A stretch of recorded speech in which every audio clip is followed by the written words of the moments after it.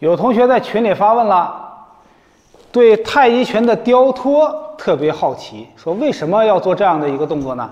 那我给大家来讲解一下。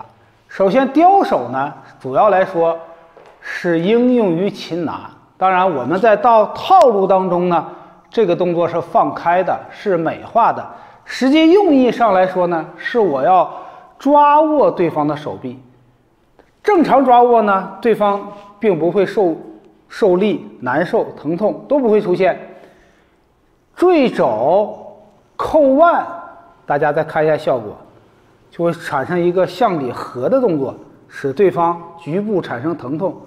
那右手顺产往里合，主要来说是两手相互作用，这个往上提，这个往内拖、往前按，就会产生一个擒拿的手法。